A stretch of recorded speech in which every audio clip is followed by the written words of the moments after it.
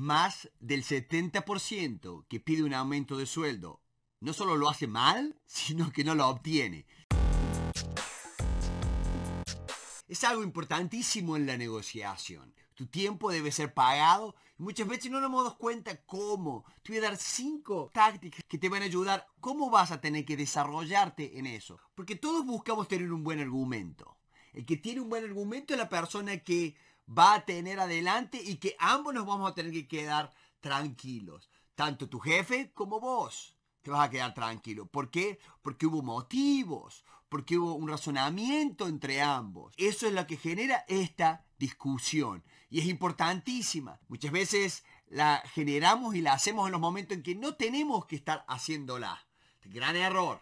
Déjame te cuente una historia, una historia personal donde no solo obtuve el aumento de sueldo, sino que me dieron la posibilidad de hacerme socio. ¿Por qué? Porque utilicé estos cinco elementos, los trabajé, vi cómo estos cinco elementos van funcionando y eso es lo que vamos a discutir. ¿Para qué? Para ayudarte a que siempre, ¿no es cierto? La preferencia en tu estilo, las ganas de prepararte, que ambicioso seas, todos esos elementos son y juegan un papel imprescindible en tu negociación. Te invito a que veas mi libro, que te va a ayudar mucho a cómo entender al otro y cómo trabajar en el nunca temas negociar, es cómo trabajar con el otro para justamente que el otro esté contento. El punto número uno es, primero tenemos que escoger ¿no es cierto? las preferencias de estilo que vamos a utilizar. Siempre anda primero en una forma cooperativa. Coopera con tu socio, coopera con tu jefe. Enseñale que vos estás cooperando. Y no, no empieces hoy a negociar cuando vos realmente no has estado cooperando.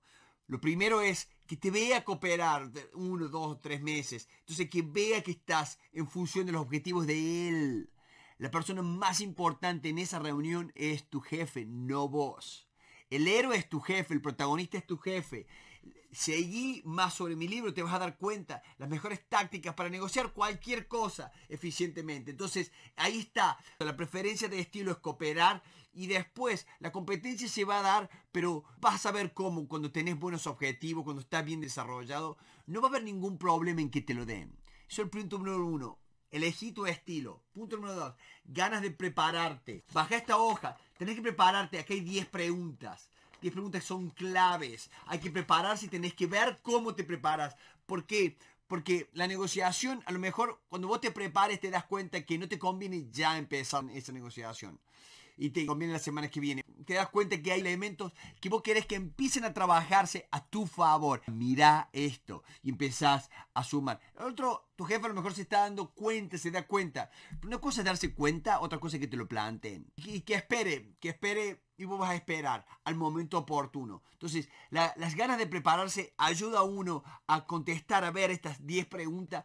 ¿Cómo vamos a hacer? ¿Qué vamos a hacer? ¿Cuáles son los primeros elementos que vamos a pedir? ¿Cómo vamos a trabajar? ¿Con quién me voy a comparar? Eh, ¿Cómo está el mercado? ¿Con quién me estoy comparando? ¿Quiénes son eh, jugadores como yo? ¿Qué banda puedo tener? Te invito a que veas en el Instituto de Negociación. Tenemos más de 500 videos. Mira, este, te invito a que veas, ¿no es cierto? ¿Qué otros, qué otros videos hay sobre el banda y cómo prepararte? Y hay muchos videos sobre sueldo como también los masterclass que estamos dando todos los martes a las 18 horas, hora de acá, de los Estados Unidos. Número 3. Genera genera objetivos ambiciosos.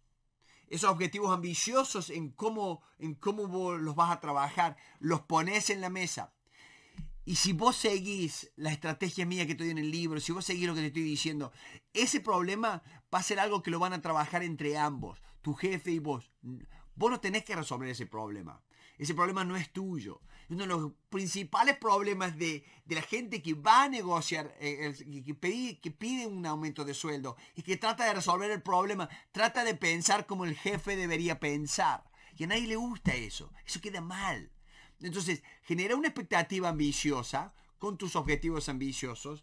Plantea, trabaja y fíjate qué tu jefe, la empresa, desearía de vos para que vos logres ese salario. Y pregúntalo, es una muy buena forma. ¿Cómo yo podría lograr esto? Oh, bueno, que esto, que lo otro. Bueno, y ahí se empieza a hablar, ahí se empieza a ver. Pero si tus objetivos no son ambiciosos, te vas a quedar estancado. Y, así todo siempre te genera un, una incertidumbre en ambos, en tu jefe y en vos, pero siempre se va a trabajar para el negocio. Y a lo mejor te des cuenta que tu jefe no es ambicioso, que te conviene irte a otra empresa, que te conviene irte a otro lugar donde puedas desarrollarte. Establece objetivos ambiciosos en base a lo que tu familia, lo que vos querés, lo que vos mereces, lo que vos te has esforzado. Y seguí estos pasos que te vas a dar cuenta. El cuarto punto, sé paciente en escuchar. Vamos a la negociación, y lo digo una y otra vez en mi libro, vamos a la negociación, a escuchar, a escuchar empáticamente, contar historias persuasivas, explicar y conectar con la persona. Vamos a entender para ser entendidos. Pero si no escuchamos, si no demostramos que estamos escuchando, si no hacemos preguntas inteligentes, no vamos a llegar a ese punto. Para obtener ese aumento de salario, lo que yo necesito es escuchar activamente a mi, a mi jefe, entenderle, escuchar, pero preparar mis preguntas. Para escuchar activamente necesito tener preguntas que las, las diseñé cuando estaba trabajando en mi, en mi preparación. Ahí fue cuando diseñé las preguntas. Entonces tengo mis preguntas y yo voy y trabajo. ¿Cómo voy? ¿Qué estilo? Voy a cooperar voy a cooperar, voy a entender. ¿Por qué? Porque yo quiero conocer cuáles son los objetivos de mi, de mi jefe, de mis jefes, quiero saber cuáles son. Y por último, el punto número 5, que es clave, hacer un compromiso con vos mismo de la integridad personal. Pero eso tiene que estar visto por todos lados, por toda tu gente. Tiene que haber una integridad personal que, que no se discute. Si la gente empieza a ver y trabaja en que vos tenés esa integridad personal, te van a ayudar a lograr más y mejores incrementos salariales. Todo empieza por nosotros. Estamos en el negocio de cambiarnos a nosotros mismos, no cambiar a todo el mundo. Cambiar a nosotros mismos, ser mejores nosotros para dar y ayudar más. Entonces, la negociación salarial tiene que estar, primero de todo, ¿no es cierto? Con todos estos puntos, tengo que ver cuándo lo voy a hacer. Y lo el mejor momento para pedir un, un aumento de salario es cuando no lo necesites. O sea, si ahora en este momento estás más o menos cómodo, empezá a trabajar en esto. Prepárate, empezá a diseñar. Mira otros videos acá, que hay más de 500 videos. Mira otros videos de cómo negociar esto. Porque si vos aumentás mil dólares al año, ¿no es cierto? Dos mil, diez mil dólares al año. El año que viene otro, otro aumento en ese aumento. Y el año que viene un aumento en el aumento del aumento. Eso va, se va multiplicando y esa es la forma. Y cuando tenés un buen salario vas a poder pedir otras condiciones, vas a poder pedir más vacaciones, vas a poder pedir más cosas. Vas se te va a respetar más, van a saben que sos parte importante en la empresa. Pero acordate, muy simple, hay que tener una preferencia en el estilo. ¿Qué estilo vas a usar? Tenés que tener las ganas de prepararte y te vas a preparar. Vas a tener expectativas ambiciosas en tus objetivos. Porque eso va a contagiar. Y ese contagio es lo que vos necesitas para que todos trabajemos más. Para que todos pongamos metas más altas. Porque a lo mejor es tu jefe el que tiene que poner una meta más alta. Y vos tenés que escucharla. No tenés que criticarla, escucharla. ¿Por qué? Porque te dije, paciente y ser activo ¿no es cierto?, en escuchar, bien activo y entender y trabajar en eso.